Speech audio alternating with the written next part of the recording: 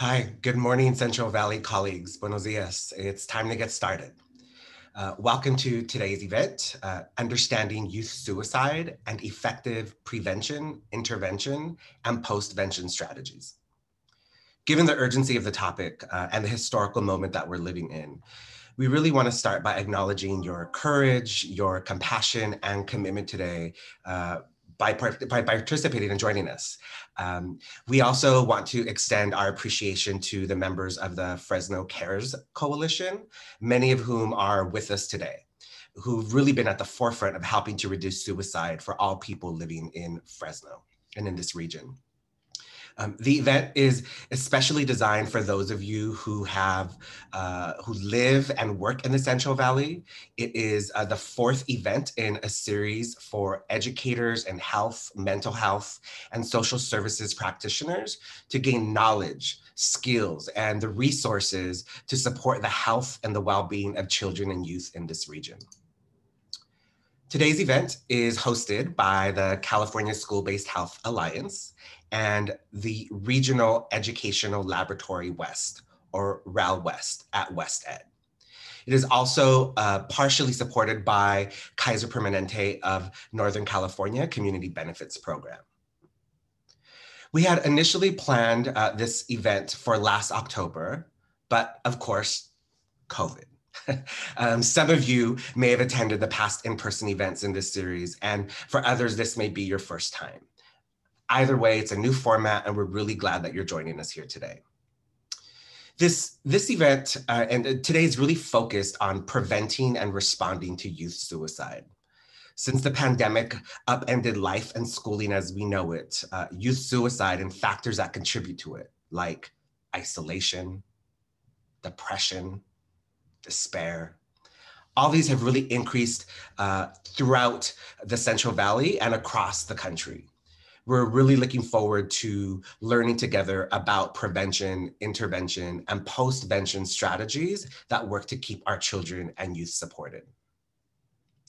I want to take a minute to introduce myself. Um, my name is Sergio Morales, and I'm excited to serve as your MC today. Um, in my day job, I'm the Associate Vice President of Programs for Essential Access Health. And in my role today, I'm the President of the Board of Directors for the California School-Based Health Alliance. Uh, I've personally dedicated my career to advocating for healthcare access and equity for all. And like you, much of my work is focused on building systems for children, youth, and our families to thrive.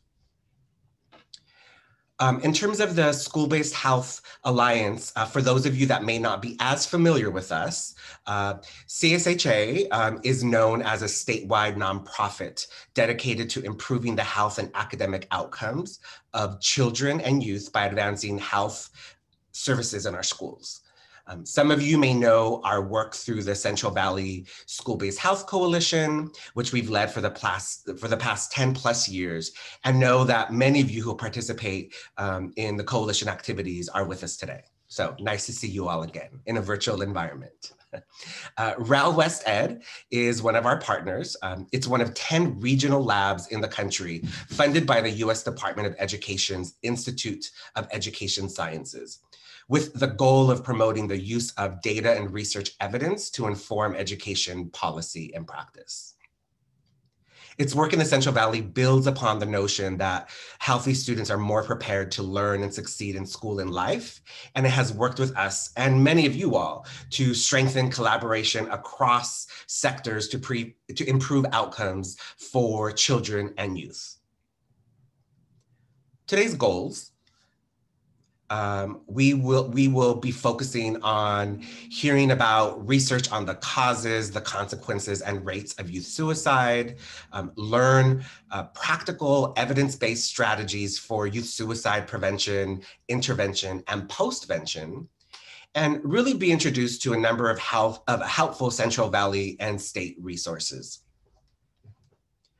Uh, we have an exciting agenda planned for you today. Um, we have two plenary sessions to kick off the day. Uh, first will be uh, with Dr. Sidra Goldman-Mellor, who will help us understand the research on youth suicide. And then later, we'll also be joined by Stan Collins, who will share part one of his two part presentation on prevention, intervention, and postvention.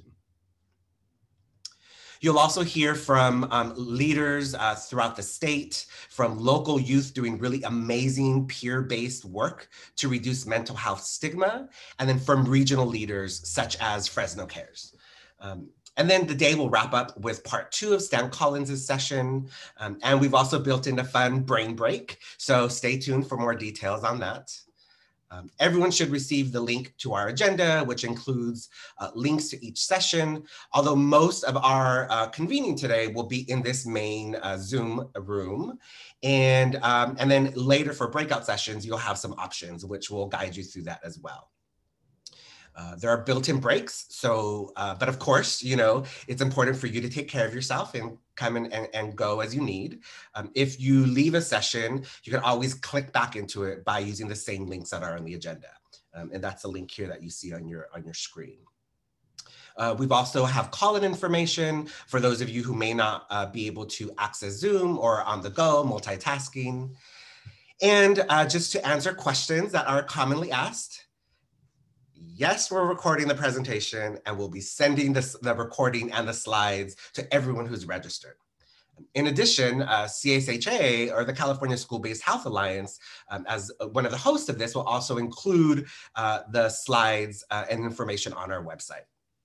We'll be following up with an email uh, from today's uh, event. Also, uh, just a couple other uh, Zoom helpful tips. As you see here, we list the number as well as the code to call in. Um, I also want to let you know that although your camera and mics are turned off, we definitely want to hear from you and strongly encouraging you right now to enter questions, comments, feedback, feelings. Uh, I agree, I'm loving it um, into our chat feature, which is uh, closely monitored by uh, members of our team and will be addressed in chat individually, or some of those messages may be cycled up to me to address the group.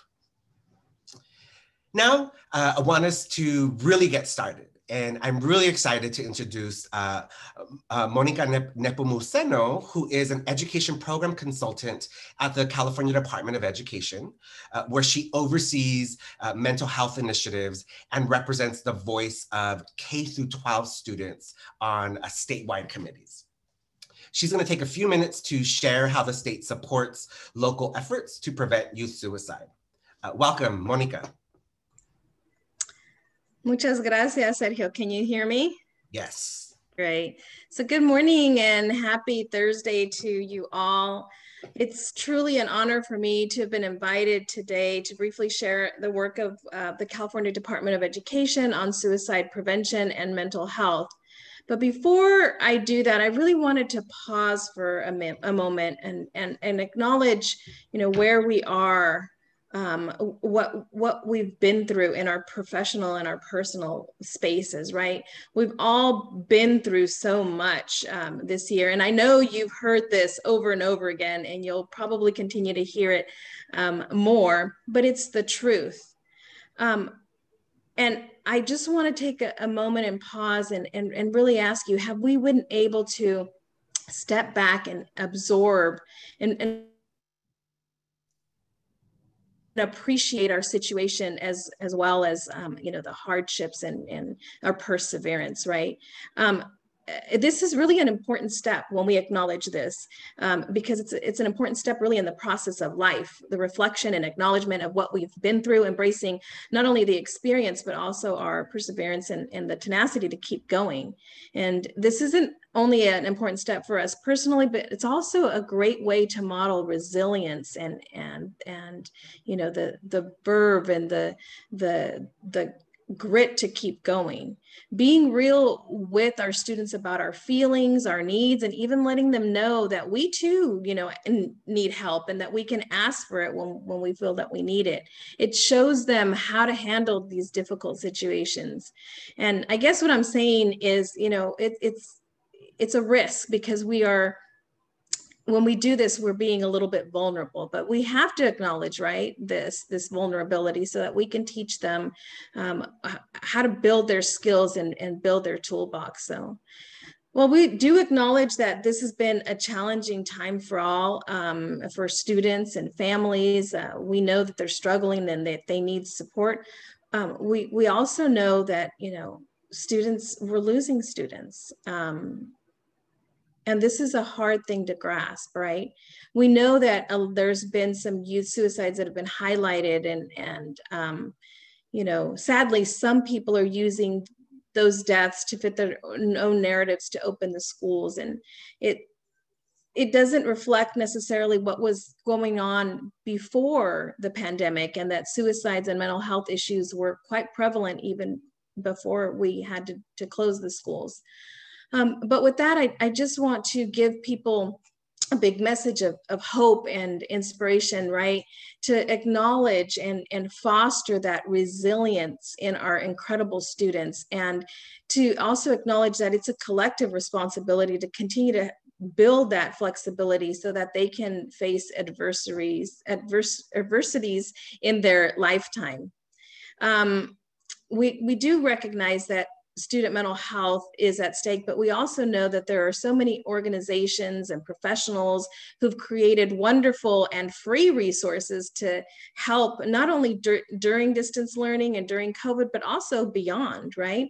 So with this in mind, I'm going to share some of the resources that we have at the CDE. And I'll start by um, sharing a little bit about the statewide suicide postvention response team.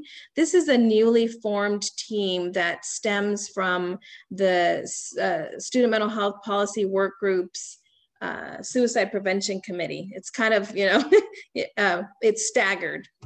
Um, and so this group was really uh, convened to help LEAs build their capacity and connect them to their local resources, their county office of education, county behavioral health department, and also community mental health and suicide prevention and postvention resources.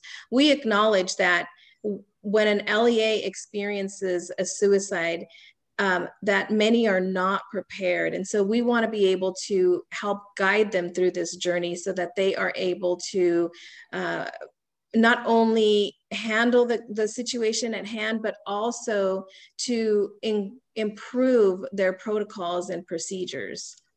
Um, so all of these all of these we're going to list um, in the chat box, all of the links to all of these things, all the resources. Um, Monica, thank you. If we could just list those in the chat. Oh, okay. And Absolutely. then uh, we'll be able to make sure, share them with our participants, and we'll also be able to uh, include in the email when we email it out to everybody. Okay, perfect. Is that my sign to cut it? we want to say thanks, Monica. no worries. I just want to thank you for all of your work that you're doing. And please know that the CDE is a partner in all of this work and reach out if you need any support. Awesome. Gracias, Monica. Appreciate your, your resources and your, and your support today. Um,